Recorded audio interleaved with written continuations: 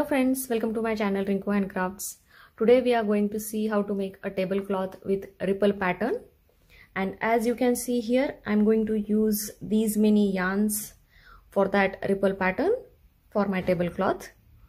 And this is very fun and interesting project as I'm going to use so many yarns here. And the pattern we will see at the end is gonna be so, so beautiful. So I hope you enjoy my video. So let's start. Now first we will make slip stitch to our hook. So for slip stitch hold your yarn like this, insert your finger, twist the yarn, pull this end from the ball and insert your hook like this. And now make it tight. And now here we are going to make some number of chains. These number of chains depends on the size of your table mat. So if you want long table mat then you can increase your number of chains here and these chains will be in multiples of 12 so for my table mat i'm going to make total 72 chains here. And keep these chains just the perfect. Don't make it too tight or too loose. Now here i have made my 72 chains. And now we will start our row 1 so for row 1 we will make three more chains here. 1 2 and 3 and now we are going to make one double crochet stitch in this fourth loop here from this chain from this hook. So this loop we are not going to count this. So we are going to skip these first three loops one two and three. And in this fourth one we will make one double crochet stitch so for double crochet yarn over. Insert your hook in this loop. Pull the yarn. You have three loops on the hook. Pull the yarn from first two loops and then pull the yarn from next two loops. And now here you can see this chain pattern that we did. This we are going to consider as one double crochet stitch and this will be the second one. So in this one loop we have made total two double crochet stitches here like this. And now here in next three loops one two and three we are going to make one double crochet stitch each. So yarn over insert your hook in the loop pull the yarn. You have three loops on the hook pull the yarn from first two loops then pull the yarn from next two loops. This is my first double crochet stitch. Then again one double crochet stitch in the next loop and then one double crochet stitch in the next loop.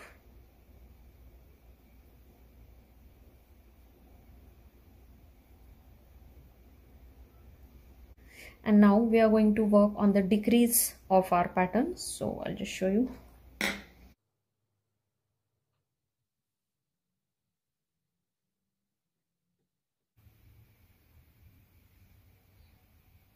So here you can see here we have started now.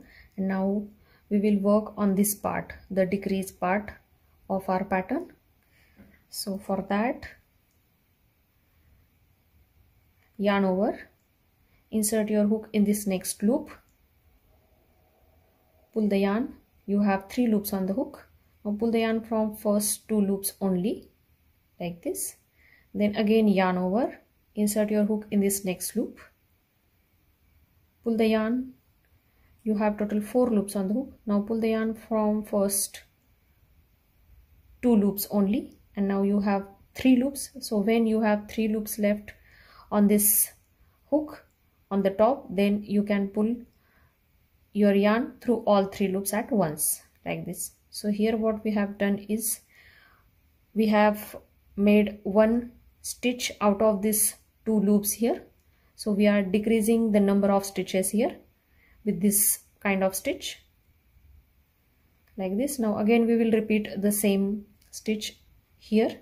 So yarn over. Insert your hook in this loop. Pull the yarn. Pull the yarn from first two loops. Then again yarn over. Insert your hook in the next loop. Pull the yarn. Pull the yarn from first two loops. Now you have three loops on the hook. So pull the yarn from all three loops at once so here you can see we decrease this two loops into one stitch here like this. Now again in next three loops we will make one double crochet stitch each like we did before.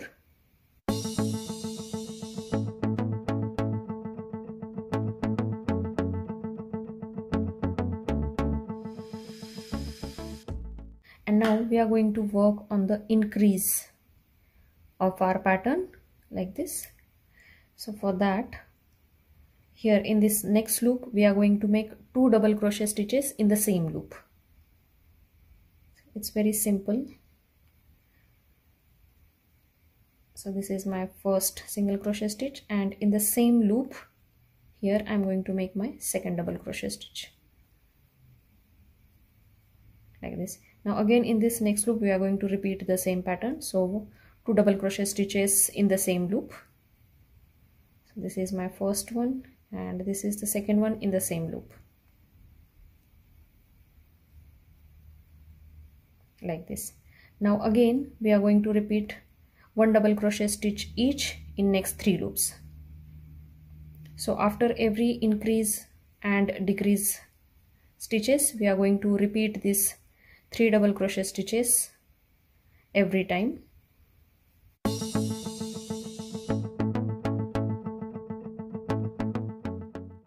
now again we are going to follow the same pattern of decrease and increase throughout this row.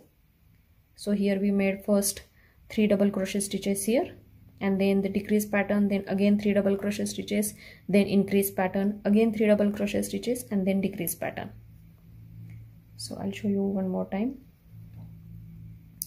Yarn over insert your hook pull the yarn from first two loops then again yarn over insert your hook. Pull the yarn from first two loops then pull the yarn from all three loops at once. So this is my first one. Now again I'll repeat the same.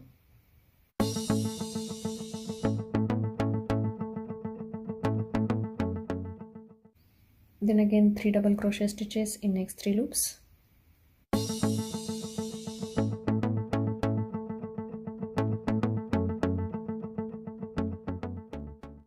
then again the increase pattern. So two double crochet stitches in same loop twice.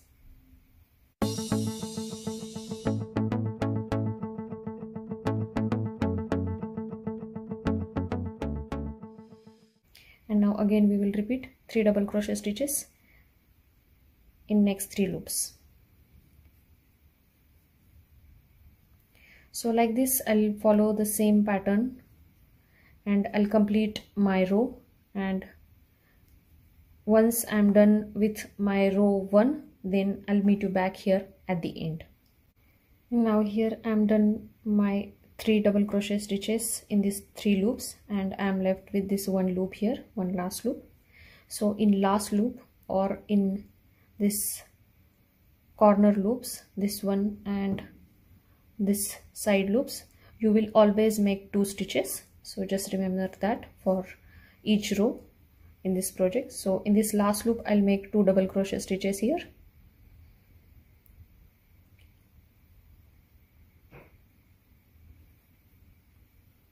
So this is my first one. And this will be the second one now instead of pulling this yarn I'm going to change my yarn here.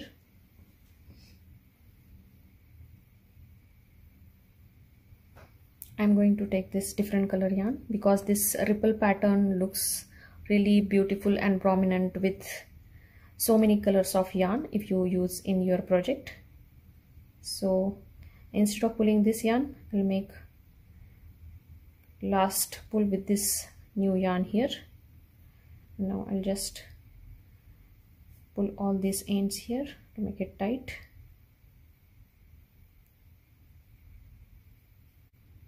Now for row 2 I'll make three chains here. One two and three. Now here I have cut my old yarn and I have secured these loose ends for now. Once your project is completed then you can weave these loose ends inside your project so here after three chains we are going to turn our work for row 2 so now we will start our row 2 so this chain pattern this will be considered as one stitch here. And in this same stitch we are going to make one more double crochet stitch. So two double crochet stitches in the same loop on both sides like I said before. So here you can see we have two double crochet stitches.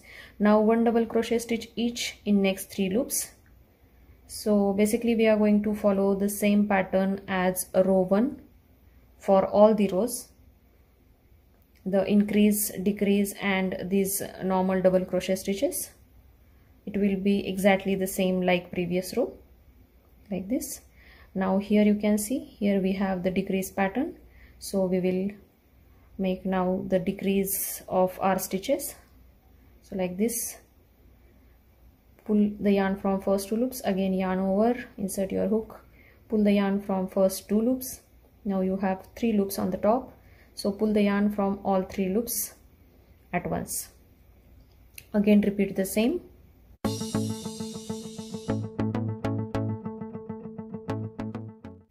Now again one double crochet stitch each in next three loops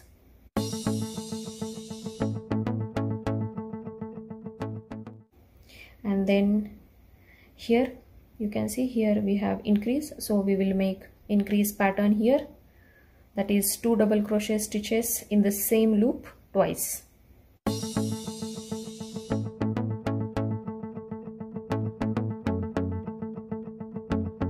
And now again one double crochet stitch each in next three loops.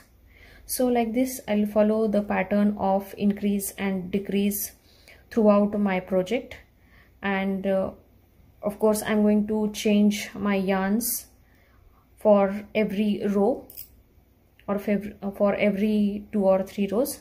So depending on what type of pattern you want or what type of combinations you want you can choose your yarn color.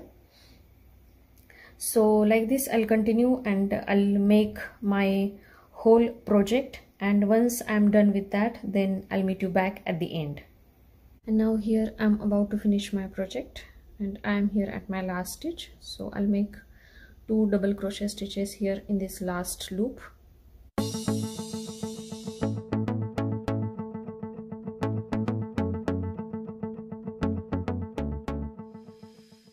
And now chain one to secure it.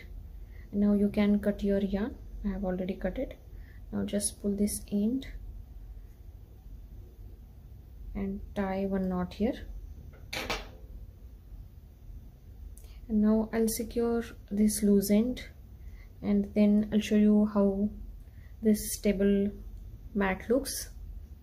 And now here you can see my table mat is ready. And it is looking really vibrant and beautiful. And this is really a fun project to do because you get to play with so many different yarns here in a single project and if you have a little bit of yarn left from some other projects then you can use that in this in this project. Here you can see how many yarns I have used. So I hope you liked my video. If you like my video then please give big thumbs up. Write down your questions comments or any feedback in the comment section and please subscribe my channel. Thank you so much for watching the video. See you soon in the next one.